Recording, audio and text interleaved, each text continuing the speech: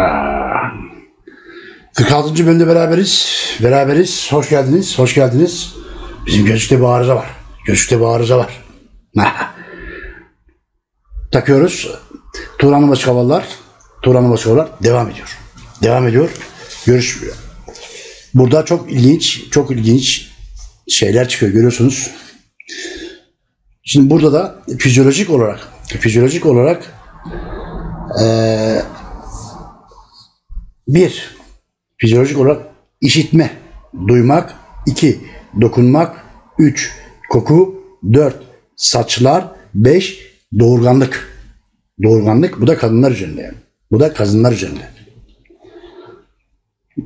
İşitmek, duymak, dokunmak, koku, saçlar, doğurganlık. Bu üç sağduyulu konu Moskovalı kadınların kadınların keskinliğini keskinliğini gideriyordu. Gideriyordu.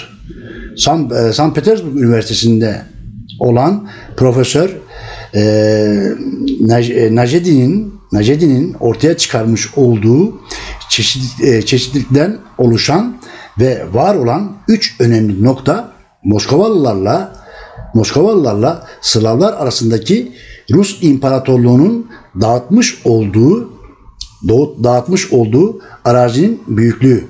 Yani yani Moskova'nın Moskova'nın ve ikliminin aynı zamanda aynı zamanda Moskovalı bilim adamlarının da kabul ettiği kanıtlanmış olan orografik orografik ve iklim bilimi olarak Volga Havzası'nda beraberinde beraberinde Oka'da ve Kama'da aynı zamanda Dnieper'deki Dnie- Dnieper'deki fizyolojik kollar, kollardaki kollardaki e, ilgi- ilgilendiren konularda bizim ekleyeceğimiz şudur. Şudur ki Turanlılar genel olarak buraları tamamen eme, egemenlikleri altına almışlardır fizyolojik olarak. Fizyolojik olarak. Fizyolojik olarak da. Eklemek istediğimiz çok önemli bir detay daha var. Biz bu olayı fizyolojik olarak kabul ediyoruz ve çok ince ve titiz araştırmalarımızın sonucu olarak çıkan sonuç şudur. Turanlı kadınlar, Turanlı kadınlar çok doğurgandırlar. Turanlı kadınlar çok doğurgandırlar. Özellikle Turanlı Moskovalı kadınlar burada burada hakkını vermek gerekir ki özellikle antropolojik olarak antropolojik olarak tarihsel olarak istatistik olarak ve devlet adamları olarak devlet adamlarının olarak belirtilen ve görülen ve görülen şey şudur ki Turanlı Moskovalı, Moskovalı kadınlara baktığımızda kadınlar genellikle 4 ila 5 çocuk arasında doğum yapıyorlardı. 4 ila 5 çocuk arasında doğum yapıyorlardı. Turanlı Çinli kadınlarda da Turanlı Çinli kadın- kadınlarda da çok doğum çok doğum yapıyorlardı. Ama ne kadar olsa da olsa da Mosk- Moskovalı kadınlar kadar değildiler. Değildiler. Bir de sen şu andaki Çin'in nüfusunu görsen ne derdin acaba? Fena değil. Fena değildi ha. bu konuda bu konuda psikoloji dalında psikoloji dalında çok ünlü isim olan isim olan ve bu doğum olaylarını çok iyi takip eden, takip eden ve bunun tarihsel anlatımını çok iyi yapan, çok iyi yapan Monsieur, Monsieur Michel, Monsieur Michel şu açıklamayı yapmıştır. Moskova toplumunun karakteristik özelliğini yani kadınların kadınların amaçlarının ne kadar çocuk doğurursam, ne kadar çocuk doğurursam benim için büyük bir ödüldür. Benim için büyük bir ödüldür anlayışına sahiptiler. Sahiptiler. Burada şu olayı şu olay meydana çıkıyor ki Tura- Turanlı Moskovalı kadınların çok doğurgan olmaları doğurgan olma, olmaları önlemeye çalışmamak ve bu durum bu durum devleti yönetenlerin de işine işine geliyor. İşine geliyorsa işine geliyorsa buradan çıkaracağımız sonuç sonuç şudur. Tamamen ülkenin tamamen ülkenin güvenliği ve koruması içindir. Bu da şu anlama taşır. Ne kadar çok nüfus o kadar çok asker demektir. Demektir.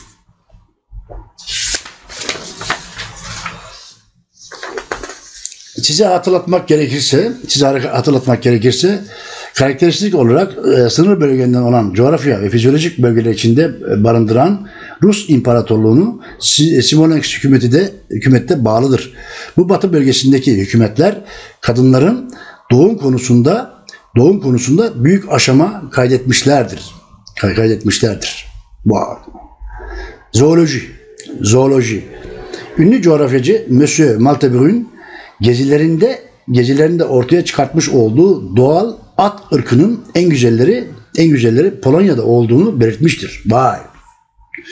Burada istatistikleri istatistikleri karşılaştırma yaptığımda bölgeler olarak Rus İmparatorluğu'nun içindeki çalışmalar, Rus İmparatorluğu'nun içindeki çalışmalar bize göstermiştir ki Moskova civarında neredeyse neredeyse hiç keçinin olmadığıdır. Aa.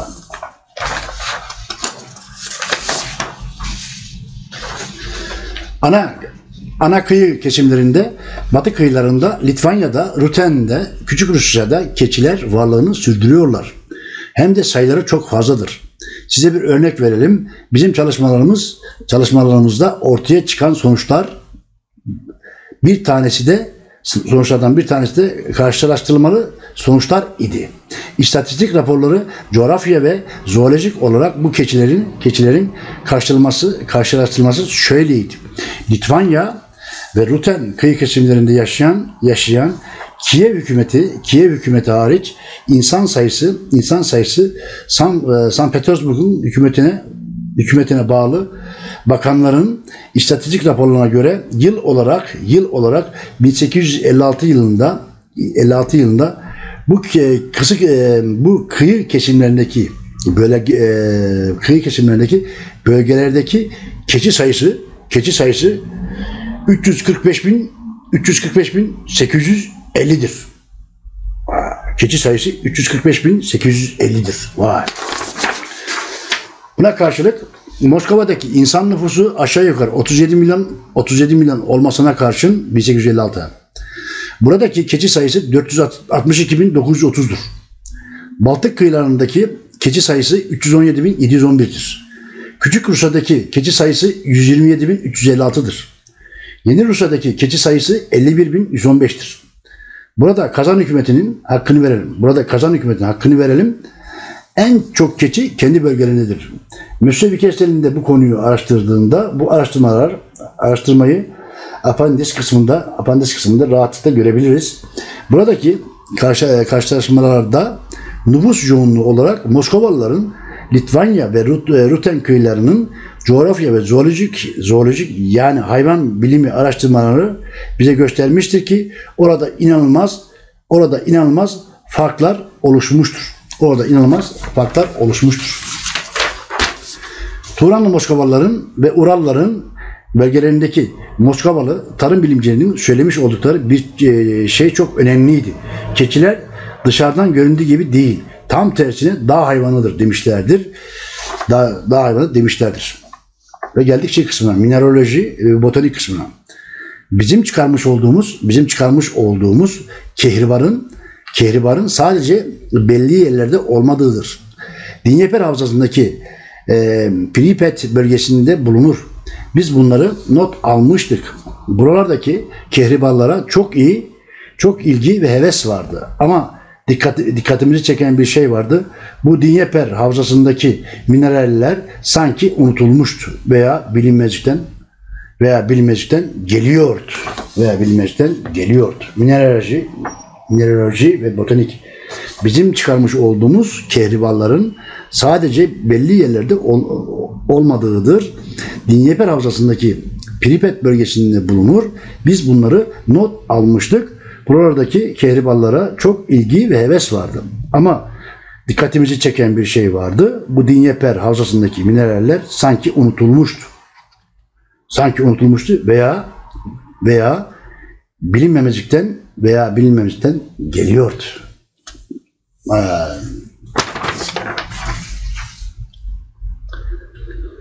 Görüyorsunuz değil mi arkadaşlar? Dostlar, kardeşlerim, candaşlarım görüyorsunuz değil mi? Neler neler olmuş. Adamlar ne araştırmalar yapmışlar. Mükemmel araştırmalar yapmışlar. Dedim gizem her zaman var. Her zaman biz de bunları çıkarttık meydana gösteriyoruz, anlatıyoruz size. Ne mutlu bize, ne mutlu sizlere. Görüşmek üzere, hoşça kalın. Türk Turan Dünyamız yüreğimizdesiniz. Her zaman için yüreğimdesiniz.